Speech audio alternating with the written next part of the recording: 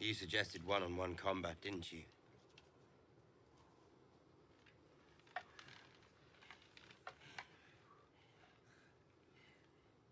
I've reconsidered. I think that sounds like a wonderful idea.